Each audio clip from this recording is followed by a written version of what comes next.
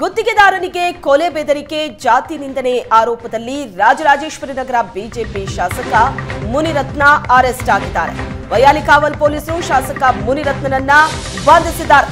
ಗುತ್ತಿಗೆದಾರನಿಗೆ ಕೊಲೆ ಬೆದರಿಕೆ ಹಾಕಿದಂತ ಆರೋಪ ಮತ್ತು ಜಾತಿ ನಿಂದನೆ ಮಾಡಿದಂತ ಆರೋಪದಲ್ಲಿ ಬಿಜೆಪಿ ಶಾಸಕ ಮುನಿರತ್ನ ಬಂಧನ ಆಗಿದೆ. ನಿನ್ನೆ ರಾತ್ರಿ ಬೌರಿಂಗ್ ಆಸ್ಪತ್ರೆಯಲ್ಲಿ ಮುನಿರತ್ನ ಮೆಡಿಕಲ್ ಟೆಸ್ಟ್ ನಡೆಯಿತು ಬಳಿಕ ಜಡ್ಜ್ ಎದುರು ಮುನಿರತ್ನ ಹಾಜರುಪಡಿಸಿದ್ರು ಪೊಲೀಸರು. ನ್ಯಾಯಾಧೀಶ ಸಂತೋಷ್ ಗಜಾನನ್ ಭಟ್ ಎದುರು ಮುನಿರತ್ನರನ್ನ ಹಾಜರುಪಡಿಸಲಾಯಿತು. ಎರಡು ದಿನ ಪೊಲೀಸ್ ಕಸ್ಟಡಿಗೆ ನೀಡಿ ಜಡ್ಜ್ ಆದೇಶವನ್ನ ಹೊರಡಿಸಿದ್ದಾರೆ. ಒಂದು ವಾರ ಕಸ್ಟಡಿಗೆ ನೀಡುವಂತೆ ಪೊಲೀಸರು ಮನವಿ ಮಾಡಿದ್ರು. ವಿಚಾರಣೆ ನಡೆಸಿ ಎರಡು ದಿನ ಪೊಲೀಸ್ ಕಸ್ಟಡಿಗೆ ನೀಡಿ ಅಂತ ಆದೇಶ ಹೊರಬಿದ್ದಿದೆ. ಗುತ್ತಿಗೆದಾರನಿಗೆ ಕೊಲೆ ಬೆದರಿಕೆ ಹಾಕಿದಂತಹ ಆರೋಪ ಮತ್ತು ಜಾತಿ ನಿಂದನೆ ಮಾಡಿದ ಆರೋಪದಲ್ಲಿ ರಾಜರಾಜೇಶ್ವರಿ ನಗರ ಬಿಜೆಪಿ ಶಾಸಕ ಮುನಿರತ್ನ ಅರೆಸ್ಟ್ ಆಗಿದ್ದಾರೆ. ವಯಾಲಿಕಾವಲ್ ಪೊಲೀಸರು ಶಾಸಕ ಮುನಿರತ್ನ ಅರೆಸ್ಟ್ ಮಾಡಿದ್ದಾರೆ. ನಿನ್ನೆ ರಾತ್ರಿಯೇ ಬೌರಿಂಗ್ ಆಸ್ಪತ್ರೆಯಲ್ಲಿ ಮೆಡಿಕಲ್ ಟೆಸ್ಟ್ ನಡೀತು ಮುನಿರತ್ನಗೆ. ಬಳಿಕ ಜಡ್ಜ್ ಎದುರು ಹಾಜರುಪಡಿಸಲಾಯಿತು. ಒಂದು ವಾರ ಕಸ್ಟಡಿಗೆ ಕೊಡುವಂತೆ ಮನವಿ ಮಾಡಿದ್ರು ಪೊಲೀಸರು. ವಿಚಾರಣೆ ನಡೆಸಿ ಎರಡು ದಿನ ಪೊಲೀಸ್ ಕಸ್ಟಡಿಗೆ ನೀಡಿ ಆದೇಶವನ್ನ ಹೊರಡಿಸಲಾಗಿದೆ.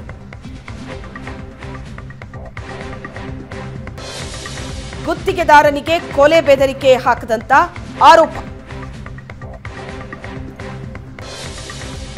ಮತ್ತು ಜಾತಿ ನಿಂದನೆ ಆರೋಪದ ಹಿನ್ನೆಲೆ ವಯಾಲಿಕಾವಲ್ ಠಾಣೆಯಲ್ಲಿ ಎಫ್ಐಆರ್ ದಾಖಲಾಗಿದೆ ಈ ಹಿನ್ನೆಲೆ ಮುನಿರತ್ನ ಅವರನ್ನ ಬಂಧಿಸಿದ್ದಾರೆ ವಯಾಲಿಕಾವಲ್ ಪೊಲೀಸರು.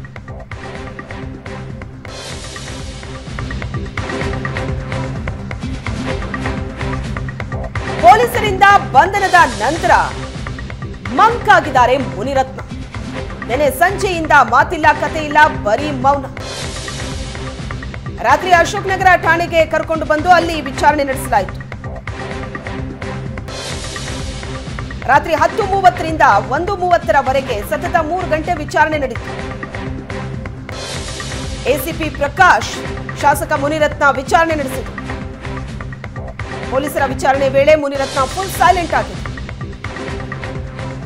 ಜಡ್ಜ್ ಮನೆಗೆ ಕರ್ಕೊಂಡು ಹೋಗುವಾಗಲೂ ಕೂಡ ಮುನಿರತ್ನ ಸೈಲೆಂಟ್ ಆಗಿದ್ರು ಮಂಕ್ ಆಗಿದ್ರು. ಜಡ್ಜ್ ಮುಂದೆ ನನ್ನ ವಿರುದ್ಧ ಸುಳ್ಳು ಆರೋಪ ಮಾಡಿದ್ದಾಗಿ ಹೇಳಿಕೆ ಕೊಟ್ಟಿದ್ದಾರೆ.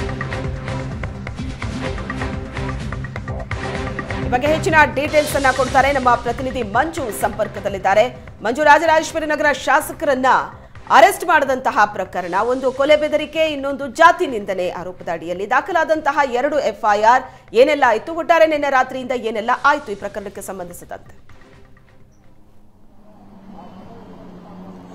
ಶ್ವೇತಾ ಹೌದು ಈಗ ಈಗ ಈಗಾಗಲೇ ಈಗಾಗಲೇನು ಶಾಸಕ ಮುನಿರತ್ನನ್ನ ಏನು ವಶಕ್ಕೆ ಪಡೆದು ವಿಚಾರಣೆಯನ್ನ ಮಾಡಿರ್ತಕ್ಕಂಥದ್ದು ಪ್ರಮುಖವಾಗಿ ನೋಡೋದಾಗ ಅಂದ್ರೆ ಕಸ್ಟಡಿಗೆ ಪಡೆದು ವಿಚಾರಣೆಯನ್ನು ಮಾಡ್ತಿರ್ತಕ್ಕಂಥದ್ದು. ಪ್ರಮುಖವಾಗಿ ನಿನ್ನೆ ಏನು ಹತ್ತು ಹತ್ತು ಮೂವತ್ತರ ಸರಿಸುಮಾರಿಗೆ ಇದೇ ಅಶೋಕ್ ನಗರ ಪೊಲೀಸ್ ಠಾಣೆಗೆ ಏನು ಎಸಿಪಿ ಪ್ರಕಾಶ್ ಅವರು ಕರ್ಕೊಂಡು ಬರ್ತಾರೆ. ಎಸಿಪಿ ಪ್ರಕಾಶ್ ಅವರು ಬಂದ ನಂತರ ಒಂದಷ್ಟು ವಿಚಾರಣೆಯನ್ನ ಮಾಡುವಂತ ಕೆಲಸವನ್ನ ಮಾಡ್ತಾರೆ. ಯಾಕಂದ್ರೆ ನ್ಯಾಯಾಧೀಶರ ಮುಂದೆ ಹಾಜರುಪಡಿಸಿ ಅಲ್ಲಿ ರಿಮ್ಯಾಂಡ್ ಅಪ್ಲಿಕೇಶನ್ ಅನ್ನ ಕೊಟ್ಟು ಯಾವ ಆಧಾರದ ಮೇರೆಗೆ ಇವರನ್ನ ವಶಕ್ಕೆ ಪಡ್ಕೊಳ್ಬೇಕು ಅಂದ್ರೆ ಮತ್ತೆ ಕಸ್ಟಡಿಗೆ ಪಡ್ಕೊಳ್ಬೇಕಾಗಿದೆ ಅನ್ನೋದನ್ನ ಕೂಡ ಅಲ್ಲಿ ಉಲ್ಲೇಖವನ್ನು ಮಾಡಬೇಕಾಗಿದೆ ಹಾಗಾಗಿ ನಿನ್ನೆ ರಿಮ್ಯಾಂಡ್ ಅಪ್ಲಿಕೇಶನ್ ಸಿದ್ಧ ಸಿದ್ಧತೆಯನ್ನು ಮಾಡ್ಕೊಳ್ತಾರೆ. ಅಲ್ಲಿ ಮೂರು ಗಂಟೆಗಳ ಕಾಲ ಏನು ವಿಚಾರಣೆ ಮಾಡ್ತಾರೆ.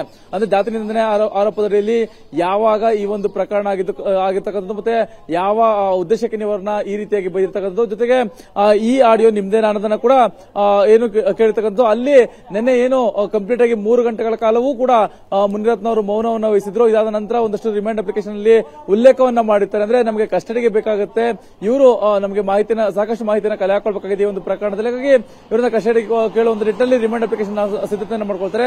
ಇದಾದ ನಂತರ ನಿನ್ನೆ ಏನು ಒಂದು ಮೂವತ್ತರ ಸರಿಸುಮಾರಿಗೆ ಇಲ್ಲಿಂದ ತೆರಳ್ತಾರೆ. ಅಲ್ಲಿ ಎರಡು ಗಂಟೆ ಎರಡೂವರೆ ಆಗುತ್ತೆ. ನಂತರ ಎರಡು ಗಂಟೆ ನಂತರ ಏನು ನ್ಯಾಯಾಧೀಶರ ಮುಂದೆ ಮುಂದೆ ಹಾಜರುಪಡಿಸಿ ಒಂದಷ್ಟು ಮಾಹಿತಿಗಳನ್ನ ಏನು ಅಲ್ಲಿ- ವಾದವನ್ನು ಮಾಡಿ ವಿಚಾರಣೆಯನ್ನ ಮಾಡಿದ ನಂತರ ಅವರಿಗೆ ಮತ್ತೆ ಏನು ಆರು ದಿನಗಳ ಕಾಲ ಕಸ್ಟಡಿಗೆ ಕೊಡಬೇಕು ಅಂತ ಕೇಳ್ತಾರೆ. ಆದ್ರೆ ಎರಡು ದಿನ ಈಗ ಕೊಟ್ಟಿರ್ತಕ್ಕಂಥದ್ದು. ಸದ್ಯ ಇವತ್ತು ಬೆಳಗ್ಗೆ ಹತ್ತು ಗಂಟೆಯಿಂದ ವಿಚಾರಣೆ ಆರಂಭ ಆಗುತ್ತೆ. ಎಸಿಪಿ ಪ್ರಕಾಶ್ನಿಂದ ವಿಚಾರಣೆ ಆರಂಭ ಆಗುತ್ತೆ ಶ್ವೇತಾ. ಏನು ಈ ಒಂದು ಪ್ರಕರಣ ಅಂದ್ರೆ ಜಾತಿ ನಿಂದನೆ ಆರೋಪ ಏನಿದೆ, ಈ ಒಂದು ಆರೋಪದಲ್ಲಿ ಪ್ರಶ್ನೆಗಳನ್ನ ಕೇಳುವಂತ ನಿಟ್ಟಿನಲ್ಲಿ ಹೋಗ್ತಾ ಕೇಳ್ತಾ ಹೋಗ್ತಾರೆ. ಏನು ಯಾವಾಗ ಈ ಒಂದು ಈ ರೀತಿಯಾಗಿ ಬೈಗಳನ್ನ ಆಗಿದ್ದು. ಜೊತೆಗೆ ಇದಕ್ಕಿಂತ ಮುಂಚೆ ಏನಾದ್ರು ಅವ್ರನ್ನ ಹೇಗೆ, ಹೇಗ್ ಪರಿಚಯ ನಿಮ್ಗೆ? ಯಾವ ಉದ್ದೇಶಕ್ಕೆ ಅವ್ರಿಗೆ ಈ ರೀತಿಯಾಗಿ ಹೇಳಿದ್ರೆ? ಮತ್ತೆ ಏನಾದ್ರು ಹಣದ ವ್ಯವ- ವ್ಯವಹಾರ ಆಗಿತ್ತು, ಇದೆಲ್ಲವನ್ನ ಕೂಡ ಪ್ರಶ್ನೆ ಮಾಡ್ತಾ ಹೋಗ್ತಾರೆ. ಇದ್ರ ಜೊತೆ, ಜೊತೆಗೆ ಮುನಿರತ್ನ ಅವರ ವಾಯ್ಸ್ ಸ್ಯಾಂಪಲ್ ಅನ್ನ ಕೂಡ ಏನು ಕಲೆ ಹಾಕೊಳ್ತಾರೆ. ಈಗಾಗಲೇನು ಚೆಲುವರಾಜ್ ಬಳಿ ಒಂದಷ್ಟು ಮಾಹಿತಿಗಳನ್ನು ಕೇಳಿರ್ತಕ್ಕಂಥದ್ದು ದೂರದಾರ ಚೆಲುವರಾಜ್ ಹತ್ರ. ಜೊತೆಗೆ ಆತನ ವಾಯ್ಸ್ ಸ್ಯಾಂಪಲ್ ಅನ್ನು ಕೂಡ ಪಡ್ಕೊಳ್ತಾರೆ. ಆ ಆಡಿಯೋ ಅಂದ್ರೆ ಏನು, ಅವತ್ತಿನ ಆಡಿಯೋ ಇದೆ ಆ ಆಡಿಯೋ ಜೊತೆಗೆ ಅದರ ಮದರ್ ಡಿವೈಸ್ ಏನಿದೆ, ಯಾವ್ದ್ರಲ್ಲಿ ಇದು ರೆಕಾರ್ಡ್ ಆಗಿದೆ ಅದನ್ನ ತೆಗೆದುಕೊಂಡು ಅಂತ ಕೂಡ ಹೇಳ್ತಕ್ಕಂಥದ್ದು. ಇವತ್ತು ಮದರ್ ಡಿವೈಸ್ ಕೂಡ ಬರುತ್ತೆ. ಮದರ್ ಡಿವೈಸ್ ಬಂದ ನಂತರ ಎಫ್ ಎಸ್ ಎಲ್ಗೆ ರವಾನೆ ಆಗುತ್ತೆ. ಶ್ವೇತಾ ಎಫ್ ಎಸ್ ಎಲ್ ಅಲ್ಲಿ ಆ ಒಂದು ವಾಯ್ಸ್ ಸ್ಯಾಂಪಲ್ ಇಬ್ಬರದು ಕೂಡ ಹೌದು, ಇದು ಮುನಿರತ್ನ ಅವ್ರದ್ದು ಜೊತೆಗೆ ಚೆಲುವರಾಜ್ ಅಂತ ಏನಾದ್ರು ಮ್ಯಾಚ್ ಆಗಿದೆ ಆದ್ರೆ ನಾಳೆ ದಿನ ಚಾರ್ಜ್ ಕೂಡ ಇದು ಉಲ್ಲೇಖವನ್ನ ಆಗ್ತಾ ಹೋಗುತ್ತೆ. ಸದ್ಯ ಈಗ ಇವತ್ತು ಹತ್ತು ಗಂಟೆ ನಂತರ ಸಾಕಷ್ಟು ಪ್ರಶ್ನೆಗಳನ್ನು ಕೇಳಿದ್ದಾರೆ. ಈ ಒಂದು ಪ್ರಕರಣಕ್ಕೆ ಸಂಬಂಧಪಟ್ಟಂತೆ. ಯಾಕಂದ್ರೆ ಆರು ದಿನಗಳ ಕಾಲ ಕಸ್ಟಡಿಗೆ ಕೇಳಿದ್ರು, ಸದ್ಯ ಎರಡು ದಿನಗಳ ಮಾತ್ರ ಕೊಟ್ಟಿರ್ತಕ್ಕಂಥದ್ದು. ಹೀಗಾಗಿ ಒಂದಷ್ಟು ಪ್ರಶ್ನೆಗಳನ್ನ ತೀವ್ರಗೊಳಿಸುವಂತ ನಿಟ್ಟಿನಲ್ಲಿ ಕೂಡ ಎಸಿಬಿ ಪ್ರಕಾಶ್ ಮುಂದಾಗ್ತಾರೆ, ಶ್ವೇತಾ. ಓಕೆ, ಎಲ್ಲಿಂದ ಶುರುವಾಗಿತ್ತು ಈ ಪ್ರಕರಣ? ಈಗ ಎರಡು ಕೇಸ್ ಏನು ದಾಖಲಾಗಿದೆ? ಒಂದು ಗುತ್ತಿಗೆದಾರ ಬೆದರಿಕೆ ಮತ್ತು ಹಣ ವಸೂಲಿ ಕೇಸ್, ಇನ್ನೊಂದು ಅಟ್ರಾಸಿಟಿ ಕೇಸ್ ಅಂತ ಎರಡು ಪ್ರಕರಣ ದಾಖಲಾಗುತ್ತೆ. ಸೊ ಈ ಪ್ರಕರಣ ಎಲ್ಲಿಂದ ಶುರುವಾಗಿತ್ತು? ಒಂದು ಆಡಿಯೋ ಕೂಡ ರಿಲೀಸ್ ಮಾಡ್ತಾರೆ ಗುತ್ತಿಗೆದಾರ ಪ್ರೆಸ್ ಮೀಟನ್ನು ಮಾಡಿ. ಅದು ಮುನಿರತ್ನ ಅವ್ರದ್ದು ಅನ್ನಲಾಗಿರುವಂತಹ ಆಡಿಯೋ. ಅದರಲ್ಲಿ ಅವಾಚ್ಯ ಶಬ್ದಗಳಿಂದ ನಿಂದನೆ ಮಾಡಿದ್ದು ಪರ್ಟಿಕ್ಯುಲರ್ ಒಂದು ಸಮುದಾಯದ ಬಗ್ಗೆ. ಸೊ ಇದು ಯಾವಾಗಿನಿಂದ ಆರಂಭ ಆಯಿತು? ಶ್ವೇತಾ, ಇದು ಐದು ತಿಂಗಳ ಹಿಂದೆ ಆಗಿರ್ತಕ್ಕಂಥ ಆಡಿಯೋ ಅನ್ನೋದನ್ನ ಈಗ ಪೊಲೀಸ್ನವರು ಒಂದು ಕಡೆ ಮನವರಿಕೆ ಆಗಿರ್ತಕ್ಕಂಥದ್ದು. ಹಾಗಾಗಿ ಇದು ಬಿ ಎನ್ ಎಸ್ ಅಡಿ ಪ್ರಕರಣ ದಾಖಲಾಗಬೇಕಾಗುತ್ತೆ. ಅಂದ್ರೆ ಈ ರೀಸೆಂಟ್ ಆಗಿ ಆಗಿದ್ರೆ ಇದು ಐದು ತಿಂಗಳ ಹಿಂದೆ ಆಗಿರ್ತಕ್ಕಂಥ ಇದು ಐ ಪಿ ಸಿ ಸೆಕ್ಷನ್ ಅಡಿ ಅಲ್ಲೇ ಆಗಿರ್ತಕ್ಕಂಥದ್ದು. ಇದು ಏನು ಅಟ್ರಾಸಿಟಿ ಜೊತೆಗೆ ಜೀವ ಬೆದರಿಕೆ ಆಗಿರ್ತಕ್ಕಂಥ ಹಿನ್ನೆಲೆಯಲ್ಲಿ ಅವ್ರನ್ನ ಕರೆದು ವಿಚಾರಣೆ ಮಾಡಿರ್ತಕ್ಕಂಥ ಅಂದ್ರೆ ಏನು ದುರದರ, ಗುತ್ತಿಗೆದಾರ ಆಗಿರ್ತಕ್ಕಂಥ ಚೆಲುವರಾಜ್ ಏನಿರ್ತಾರೆ ಈಗ ಅವರು ಆರೋಪ ಮಾಡಿರ್ತಕ್ಕಂಥದ್ದು ಮುನಿರತ್ನ ಈ ರೀತಿಯಾಗಿ ಒಂದು ಏನೋ ಟೆಂಡರ್ ಅನ್ನು ತೆಗೆದುಕೊಂಡಿದ್ವಿ ಆ ಟೆಂಡರ್ ಸಂಬಂಧ ನನಗೆ ಕಮಿಷನ್ ಕೊಡಬೇಕು ಅನ್ನೋದನ್ನ ಹೇಳಿದ್ರು. ಆದ್ರೆ ನಾನು ಕಮಿಷನ್ ಕೊಡೋದಕ್ಕೆ ತಡವಾಗಿದ್ದಕ್ಕೆ ಇವರು ಬಾಯಿಗೆ ಬಂದಂತೆ ಮಾತನಾಡಿದಲ್ಲದೆ ಜೊತೆಗೆ ಏನು ಜಾತಿ ಕೂಡ ಮಾಡಿರ್ತಕ್ಕಂಥದ್ದು ಹೊಡೆದು ಅನ್ನೋದನ್ನ ಕೂಡ ಇವರು ಪ್ರೆಸ್ ಮೀಟ್ ಅನ್ನ ಮಾಡ್ತಾ ಹೋಗ್ತಾರೆ. ಮಾಡಿ ಸಾಕಷ್ಟು ಅಂಶಗಳನ್ನು ಉಲ್ಲೇಖವನ್ನು ಮಾಡಿದರೆ ಈ ಒಂದು ರಾಜರಾಜೇಶ್ವರಿ ನಗರದಲ್ಲಿ ಯಾವುದೇ ರೀತಿಯಂತಹ ಟೆಂಡರ್ ಅನ್ನು ತೆಗೆದುಕೊಳ್ಬೇಕಾದ್ರೂ ಮುನಿರತ್ ಅವರ ಹಸ್ತಕ್ಷೇಪ ಇರುತ್ತೆ. ಅವರು ಇಂತಿಷ್ಟು ಕಮಿಷನ್ ಅನ್ನ ಕೊಡದೇ ಹೋದ್ರೆ ಅವರು ಇದೇ ರೀತಿಯಾಗಿ ಎಲ್ಲರೂ ರಾಕ್ಷಸ ಕೃತ್ಯವನ್ನ ಎಸಗ್ತಾ ಅಂದ್ರೆ ನಡೆಸ್ತಾ ಹೋಗ್ತಾರೆ ಅನ್ನೋದನ್ನ ಕೂಡ ಏನು ಪ್ರೆಸ್ ಮೀಟ್ ಅಲ್ಲಿ ಇದು ಈ- ಹಿನ್ನೆಲೆಯಲ್ಲಿ ಏನು ಕೂಡಲೇ ಆ ಒಂದು ಆಡಿಯೋವನ್ನು ರಿಲೀಸ್ ಮಾಡಿದ ನಂತರ ಠಾಣೆಗೆ ಬಂದು ಏಕಾಏಕಿ ದೂರನ್ನ ಕೊಡ್ತಾರೆ. ದೂರನ್ನ ಕೊಟ್ಟ ನಂತರ ಹಿರಿಯ ಅಧಿಕಾರಿಗಳು ಕೂಡ ಮನವಿಯನ್ನು ಮಾಡ್ಕೊಳ್ತಾರೆ. ಸಾಕಷ್ಟು ರೀತಿಯಲ್ಲಿ ನಮಗೆ ತೊಂದರೆಗಳಾಗ್ತಿದೆ. ನಾವು ಯಾವುದೇ ರೀತಿಯಿಂದ ಟೆಂಡರ್ ತೆಗೆದುಕೊಂಡು ಕೂಡ ಇದೇ ರೀತಿಯಾಗಿ ನಮಗೆ ತೊಂದರೆಗಳಾಗ್ತದೆ. ಹಾಗಾಗಿ ತಾವು ನಮಗೆ ಒಂದಷ್ಟು ಈ ಒಂದು ಪ್ರಕರಣದಲ್ಲಿ ನಮಗೆ ಇತ್ಯರ್ಥವನ್ನು ಗೊಳಿಸಬೇಕು. ಜೊತೆಗೆ ಶಾಸಕರ ವಿರುದ್ಧ ಕ್ರಮವನ್ನು ಕೈಗೊಳ್ಳಬೇಕು ಅನ್ನೋದನ್ನು ಕೂಡ ಸ್ಪಷ್ಟಪಡಿಸಿಕೊಳ್ತಾ ಹೋಗ್ತಾರೆ.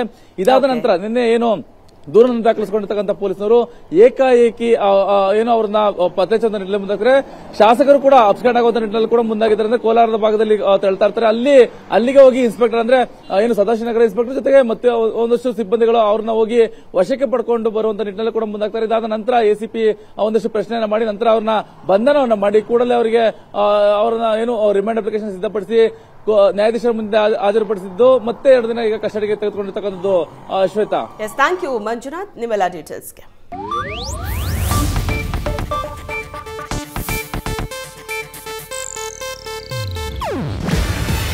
ಇದು ಏಷ್ಯಾನೆಟ್ ನ್ಯೂಸ್ ನೆಟ್ವರ್ಕ್ ಪ್ರಸ್ತುತಿ. ನೀವು ನೋಡ್ತಿದ್ದೀರಾ ಏಷ್ಯಾ ನೆಟ್ ಸುವರ್ಣ ನ್ಯೂಸ್.